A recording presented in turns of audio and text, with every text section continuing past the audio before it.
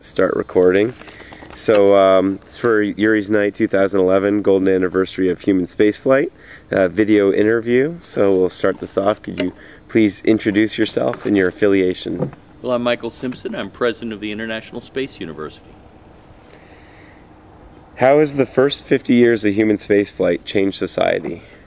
Well, I think one of the things that's most impressive about the first 50 years is that during that period of time, human beings have sent just a little over 500 representatives of our species into space.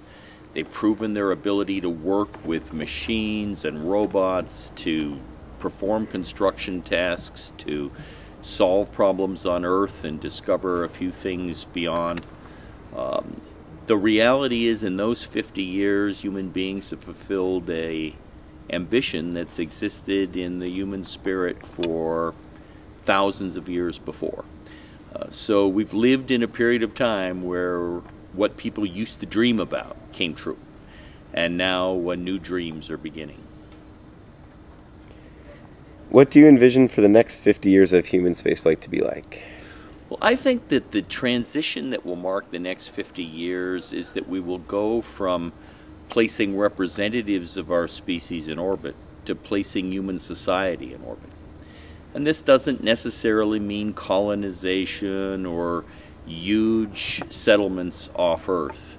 What it means is that more and more groups of humans will be functioning beyond Earth's atmosphere uh, to uh, mine resources, to explore uh, uh the moon, I think in those 50 years, probably Mars, uh, to discover not only answers to old questions, but whole new interesting questions. But they'll be doing it together. And by doing it together, they will need more and more social organization, more and more study of how they interrelate with each other in long periods away from their home planet. Uh, this is going to be the challenge for the next 50 years, not just the technology of moving people and their machines to great distances, but finding out how human beings will interrelate with each other in an environment where they are definitely dependent on each other uh, and in a uh, set of circumstances totally different from the ones in which we evolved as a species. How did you first get your start in the space industry? Well, I like to tell people that to some extent it was as a uh, uh, as a young dreamer. Uh, I looked uh, looked up at the sky at the early uh, satellite traces as they moved across the sky and began to think that uh, this was a very interesting time to live in.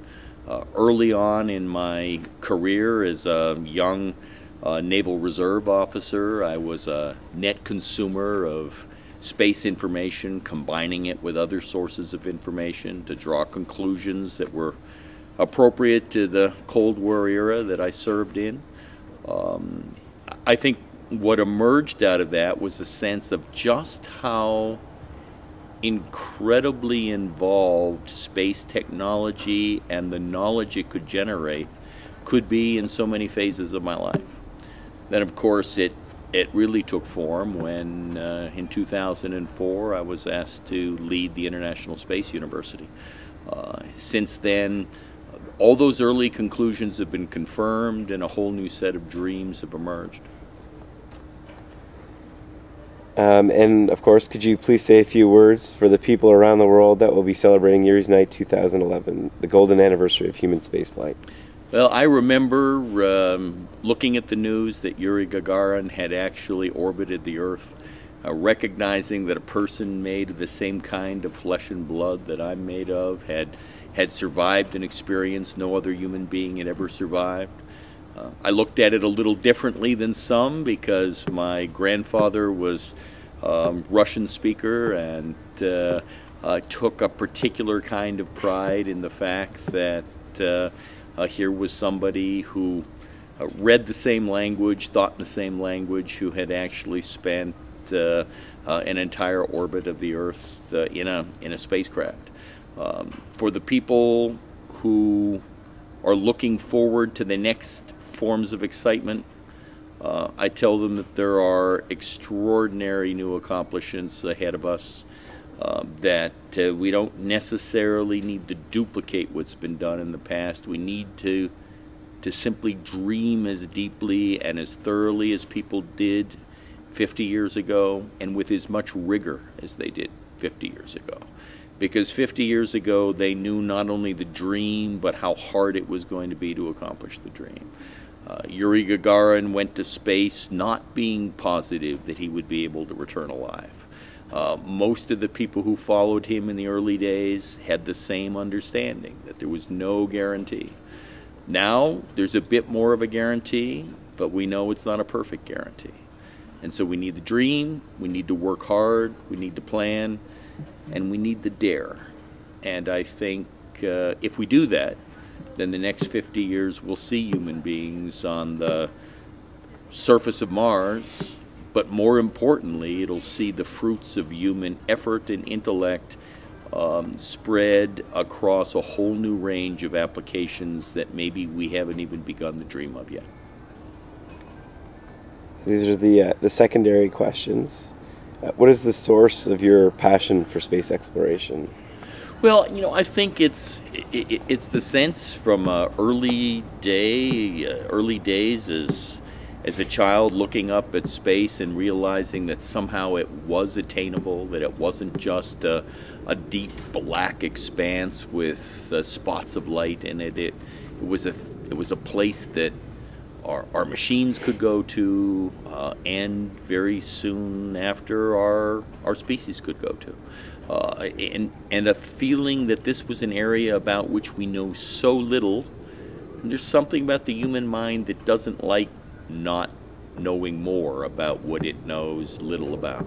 And so I think we're drawn to space by curiosity. We're drawn to space by a growing body of evidence that it keeps showing us opportunities to accomplish things that we had uh, not previously suspected. And we're drawn to space by something almost primordial in the human spirit that uh, uh, we like to venture, we like to climb to the tops of hills and see what's beyond. What uh, space figure do you most admire? Well, you know, in many ways, uh, and this is going to sound sort of funny, um, I think I most admire um, Michael Collins, uh, the guy that had to sit up in the command module while Neil and Buzz went to the surface, who had to think for three days about what it might be like if they couldn't get back, and he had to bring that command module home on his own uh, who had to think that two men were having a dream accomplished that he might well not be able to accomplish. And he did his work wonderfully well. Uh, the rendezvous was a success. The, the command module was uh, well tended while it waited for its two missing passengers to return. Um, the um, uh, I think the the allegory there is that all of us, at one point or another, need to sacrifice part of our dream so that the entire species uh, can fulfill the dream of humankind. Um, Michael Collins didn't get to the surface of the moon, uh, but without him, nobody uh, on Apollo 11 got to the surface of the moon. Um, how do you think we can best educate the public about space and get them involved?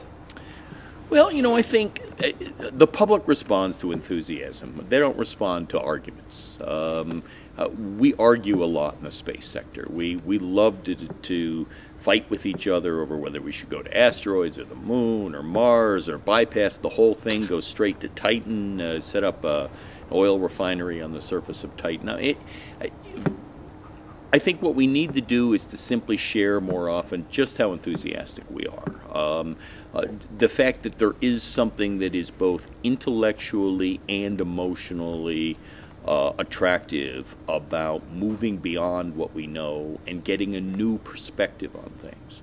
Uh, people need to also hear from us uh, some of the practical examples that inspire us. Um, you know, the Russians and then later the Americans went to uh, went to Venus. We found the planet far hotter than we thought it should be, and that opened our eyes to the fact that our own planet was getting warmer.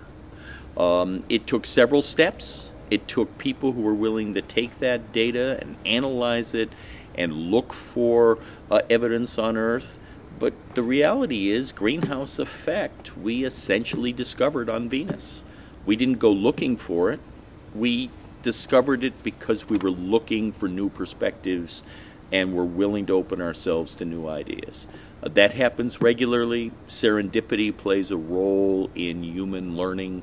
Um, I think we need to share that with people and to say that we're not only confident that can happen again and again, but we have evidence that it has already happened in a lot of very important areas. And uh, one final uh, question here. What piece of advice would you give to someone who wants to get involved in the space industry? Well, I think the first thing is that the uh, space industry itself and uh, many of the agencies that handle the uh, government operation of space policy are getting better and better at communicating their story. I, I certainly suggest that they learn something of that story, that they spend a little bit of time on the hard work that uh, folks have done with their websites and their publications to, to just look at what people have made happen. And then to start dreaming about what they would like to see happen that hasn't happened. And then to start thinking hard about what they're already doing that might be useful in the space sector.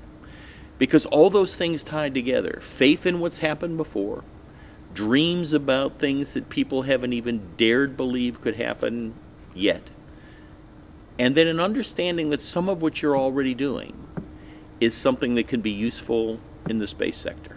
Uh, more and more companies are discovering that skills that they have can be spun into space and that they don't have to only think about taking um, technologies and scientific ideas that have been developed in space and applying them on Earth.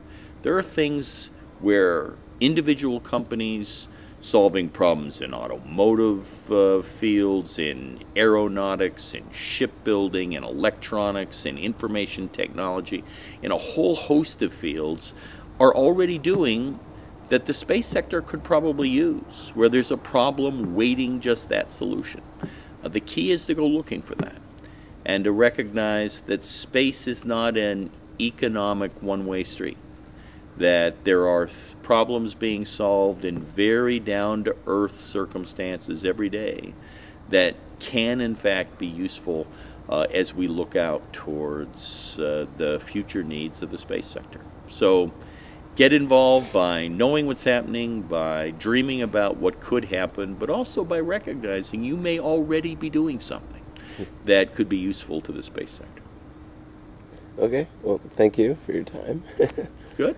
Good. Piece of cake.